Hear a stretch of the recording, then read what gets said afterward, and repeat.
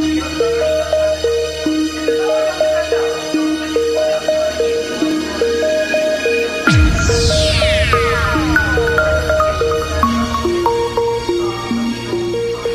из популярных методов очистки воды является применение бытовых фильтров. Они тоже в нашем гражданском присутствуют, как импортные, так и эм, эм, фильтры, которые используются нашими отечественными производителями. И чем больше распространено будет, тем будет более, каждый может будет спокойно э, реагировать на вполне нормальные требования наших водоканалов, когда они говорят, что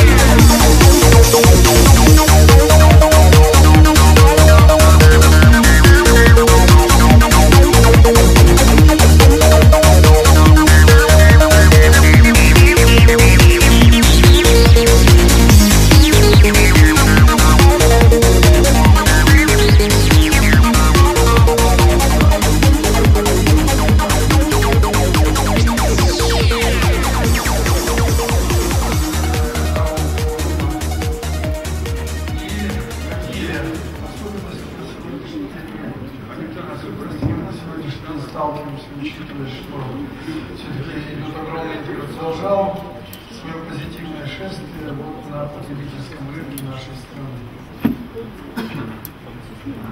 Будучи третьей в мире по водообеспеченности страной, это, конечно, большое благо, к которому мы никакого отношения не имеем. Но при этом надо помнить, что у нас еще лежит огромная ответственность за эту пресную воду, которой мы обладаем. Сегодня через международные инструменты, вполне легальные, любая страна мира может спросить России, а что же все-таки мы по сохранению этого, в общем-то, благоданного нам богатства. Конечно же, главным, чем, что мы можем сегодня положить на алтарь э, нашей с вами совместной работы, это то, что действительно была принята эта программа на 11-17 вы, пожалуйста, следите за моим вопросом. Я уже коллег. Итак, на 11-17 год постановлением правительства принята чистая вода. Такое показание. Важно отметить, что цель, которая была заложена в программу «Чистая вода», обеспечить население водой, соответствующие требованиям безопасности, установление санитар... установленных санитарно-эпидемиологическими требованиями, то, что является особенностью нашего национального законодательства. Каковы показатели удельного веса проб воды на сегодняшний день и как сегодняшняя наша вода соответствует или не соответствует этим показателям? Здесь они, правда, приведены в таком очень мелком исполнении. Значит, удельный вес проб, воды, не отвечающих гигиеническим нормативам по санхим показателям, должен снизиться с 16% в 2009 году до 14% в 2014. В 17 то есть, в общем-то, всего лишь на каких-то 2,4%. По микробиологии с 5,1 до 4,4. Тут даже вообще процент.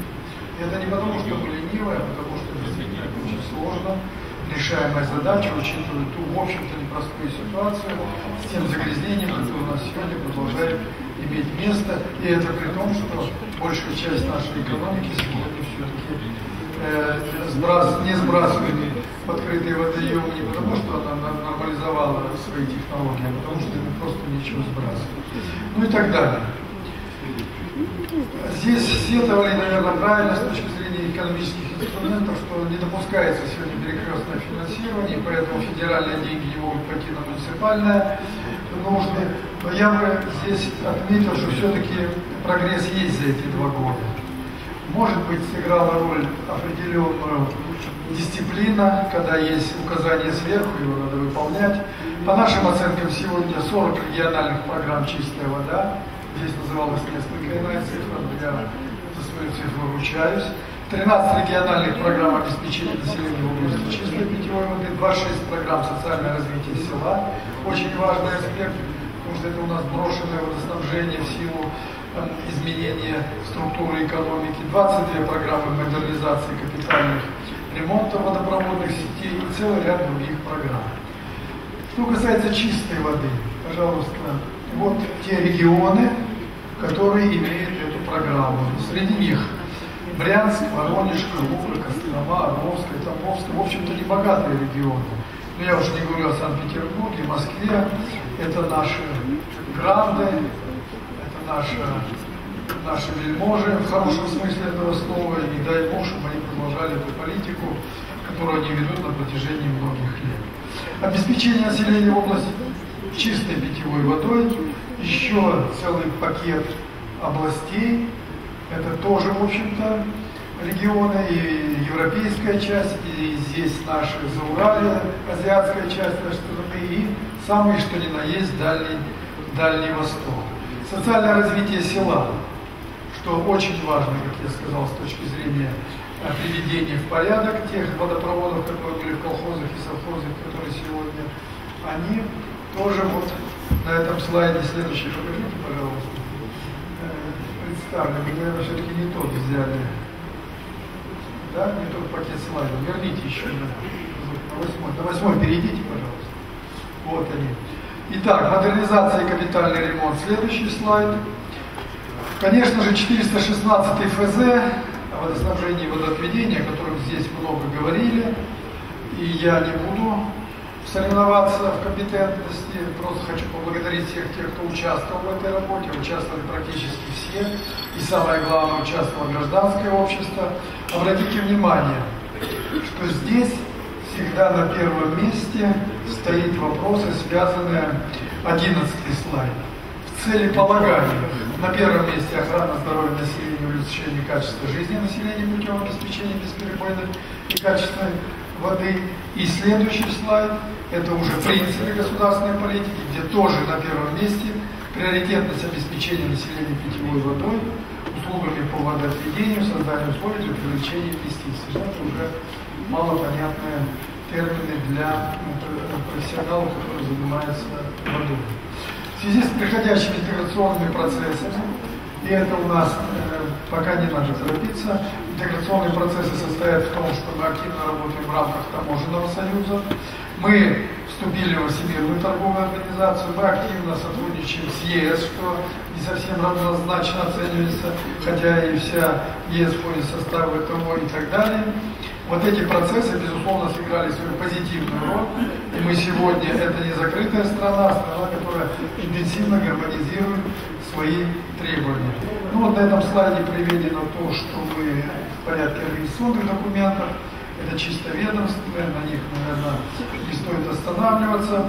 А вот следующее, это бутылированная вода. Это очень важный сегмент нашего гражданского оборота. Это, собственно, торговля. Это то, что сегодня имеет очень большой ресурс, бурно развивается как в мире, так и в нашей стране. Но мы всегда и здесь в том числе стараемся найти свой никому непонятный путь. Поэтому здесь много проблем. Завтра на, на нашей секции мы будем эту тему тоже затрагивать, хотя в рамках нашего фонда есть отдельная секция. Должен сказать, что здесь мы в рамках единых санитарно-эпидемиологических требований в рамках таможенного союза в основном гармонизовали эти документы, единые требования установили, но вместе с тем а, вот смотрите, что здесь. 87 показателей качества и безопасности бутылированной питьевой воды. Гармонизировано сегодня только 18. Не гармонизировано у нас 69 показателей. Как эта структура раскладывается? Следующий. Единичные нормативы единых требований таможенного союза по 36 показателям у нас не нормируется в системе Евросоюза 33 показателя, а нормируется в нашей стране. То есть мы в данном случае более предметно смотрим на качество и безопасность воды, нежели Евросоюз. И не нормируется в рамках единого таможенного союза, но нормируется в системе Европейского союза 10 показателей, и они здесь тоже приведены. То есть э, гармонизация нормативов это не просто арифметика. Сели, слечили и путем голосования или повышенных тембров голоса установили, какой показатель взять. Есть целый блок проблем, которые не нормируются в разных законодательствах. Поэтому здесь, конечно, огромный вклад нашей прикладной науки, на которые мы, безусловно, в этом плане уповаем. И не надо этого бояться. Не надо бояться ВТО, не надо его идеализировать, что в ВТО мы все проблемы решим. Ничего не решим. Мы их, э, может быть, э, будем решать в рамках э, уже международных подходов. И, и не надо пугаться, что у нас разные нормативы. Я, к сожалению, не включил в свою презентацию те разности, которые у нас есть, допустим, у ЕС и у ВТО, у североамериканских Соединенных Штатов и у ВТО, там картина более пестрая, чем вот на этом слайде, который я вам здесь привел. Поэтому этот процесс вполне перманентный, и он будет идти еще, наверное, долгие годы в рамках ВТО. Поэтому социалистических обязательств повышенных мы брать не будем, мы будем спокойно доказывать свою правоту, выслушивать мнение наших контрагентов и двигаться в этом направлении. В рамках проведения надзорных мероприятий здесь вот приводятся цифры, в том числе по бутылированной воде. Выбраковка идет 4,3%, но это явно нереальная э, сегодня цифра по той причине, что ограничение 294 закона сказывается и на этом сегменте. По каким направлениям? Нарушение санитарных правил и требований 63%, то есть качество, прежде всего безопасность питьевой воды. Нарушение прав потребителей на получение необходимой информации 30%, и остальные менее значимые это нарушение производителей заявленных требований и так далее.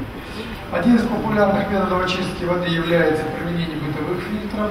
Они тоже в нашем гражданском обороте присутствуют, как импортные, так и эм, Э, фильтры, которые используются нашими отечественными производителями, и чем больше этот рынок будет, тем будет более лучше. Тогда мы сможем более спокойно э, реагировать на вполне нормальные требования наших водоканалов, когда они говорят, ну до каких пор мы будем поливать водой питьевого качества наши улицы, это, в общем-то, дорогое удовольствие. Только э, богатая страна или очень бедная страна, а может безалаберная страна может себе позволить такое действие.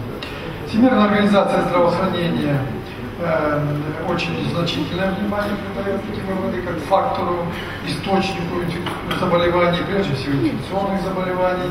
И здесь мы видим вот ту цену, которую платит человечество за некачественную воду.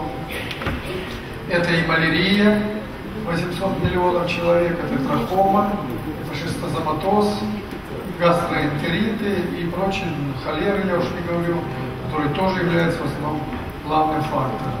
Но в целом от болезней, связанных водой, страдает половина человечества, около 2 миллиардов человек. Особенно опасная обстановка складывается в сельских районах. Не только треть жителей не имеет доступа к безопасным системам водоснабжения, они не обеспечены канализацией, что, в общем-то, создает порочный круговорот некачественной воды. Итак, интеграционные процессы. Следующий, пожалуйста, слайд. Саммит тысячелетий, 147 глава, когда 189 наций в целом приняли декларацию тысячелетия, и я хотел бы на ЦРТ-10 обратить внимание, который специально посвящен воде и санитарии. Также ЦРТ-7 обеспечение экологической устойчивости, который э, декларирует, что сократить наполовину к 2015 году долю людей, не имеющих устойчивого доступа к безопасной питьевой воды. Тут должен сказать, что безнадежно отстает и мир, да и мы, наверное, в нашей стране пока еще, несмотря на то, что у нас менее впечатляющие задачи, хотя тоже большие для нашей экономики, и сильно продвигаемся в этом направлении. В декабре третьего года Генеральная Ассамблея Организации Объединенных Наций объявила 15 15 год э, десятилетием действий «Вода для жизни». И в рамках резолюции и Совета прав по правам человека 2010 года признали право доступа к питьевой воде и санитарным услугам как право человека на социальные права. Это, конечно, декларация, но как она выглядит у нас? В 2011 году по сравнению с 2010 годом состояние водных объектов в местах водопользования населения, используемых в качестве объектов питьевого водоснабжения первой категории, улучшилось на 1,2%. Согласитесь, что это, в общем-то, чисто такая, я бы сказал, статистическая погрешность. Состояние водных объектов, используемых для рекреации второй категории по САНХИМ показателям улучшилось на 2,1% по микробиологии на 1,4. Это вот видно на этом вот слайде. В настоящее время основным причинами неудовлетворительного качества воды являются факторы природного характера. Это очень важный фактор, который не зависит от нас. Это повышенное содержание в воде и водных горизонтах всякого рода микронутриентов, эм, э, и железа, марганца, увеличивающееся антропогенное загрязнение поверхностных источников вод, отсутствие или надежное состояние зон санитарной охраны, отсутствие производственного контроля и так далее. Вот весь этот джентльменский набор, который мало кому что говорит с точки зрения новизны, но он не меняется, к сожалению. По-прежнему остается проблема обеспечения питьевой воды надлежащего качества в сельских поселениях. Эту цифру я называл применительно в целом по стране, но посмотрите, как он выглядит в силе 20 санитарно-химические показатели увеличились даже с 26 до 23 процентов несоответствия. То есть у нас продолжается деградация этой системы водоснабжения, а это ни много ни мало 30% нашего населения России. По микробиологии лишь имеется некоторое снижение опять с 7,1 до 6,4, даже не 1%. Сложившаяся неблагоприятная ситуация связана что в процессе организации коммунальных служб эксплуатирующих водозаборные сооружения в сельской местности, если они заслуженно подвергаются в городе критике, то в сельской местности они находятся ниже нижнего предела критики, поскольку они там даже не в рудиментарном состоянии пока. В 2011 году в России лабораторный контроль за качеством питьевой воды осуществлялся в 66 975 населенных пунктах. Это 96,1% нашего населения. Охват городского населения в лабораторном контроле составляет 94 и 46% сельское население. Так что вопросы это государственного контроля, вопросы производственного контроля, они, безусловно, не ушли. И, конечно, те лаборатории, которые имеют московский водоканал, питерский водоканал, целый ряд крупнейших мегаполисов нашей страны, они превосходят по количеству э, номенклатуры исследованных показателей, что, в общем-то, нужно и важно делать расширять. Мы контролируем в пределах тех показателей, которые мы установили по нашим нормативам. Очень важным аспектом признания, в том числе на сегменте воды, является, насколько наши с вами лаборатории сегодня отвечают международным требованиям. Насколько они аккредитованы в международной системе. Мы ведем аккредитацию крупнейших наших лабораторий в германской системе, как наиболее развитой системе стран Европейского Союза. И сегодня крупнейшие лаборатории, они представлены на слайде, это примерно половина населения нашей страны. Сегодня в Европейском суде могут предъявить свои исследования, и по формальным признакам их никто не отклонит, поскольку они соответствуют всем международным требованиям. Сейчас ведется следующий пакет, еще 11 лабораторий, это в основном азиатская часть нашей страны, где тоже будут они аккредитованы, будут иметь международные сертификаты. Это не значит, что наши лаборатории не имеют возможности. По ряду показателей они даже лучше работают, чем европейские, но поскольку нет формального признака, значит и нет оснований для правовой защиты и правовой оценки наших действий. В целом Российская Федерация пока еще, к сожалению, не избавилась от воды э, привозной. И у нас э, в 2011 году 683 901 человек проживали 1570 населенном пункте, где использовалась привозная вода. Конечно же, это э, очень опасный с точки зрения обеспечения безопасности, очень уязвимый путь доставки воды к населению. И здесь, конечно, есть все технологические возможности, нет только политической воли на региональном уровне, и вот э, говоря, возвращаясь к программе и поиску инструментов экономических, я бы о чем хотел сказать. Вот у нас был совсем недавно опыт финансирования национального проекта здоровья. И тогда в порядке исключения, пока выработаются некие системные механизмы, экономические инструменты, федеральный бюджет брал на себя финансирование даже таких статей первичного звене здравоохранения как дополнительное финансирование по заработной плате. И как пусковой механизм он хорошо сработал, он дал толчок, и сегодня это был достигнут, никто опуститься не может. Поэтому если такой инструмент использовать, такое решение при согласии президента и премьера можно решить очень быстро и получить очень эффективное доведение, целевое доведение денег до самого первого звена, в том числе и на сегменте, вот я как уже сказал, нового водоснабжения. Конечно же, нас интересует прежде всего требования гигиенические по содержанию биогенных элементов и такими, как отсутствие, недостатки или, может, переизбыток, ну, например, йод-дефицит. Это э, йод-дефицит, в состоянии йод-дефицита в нашей стране проживает 65% населения России.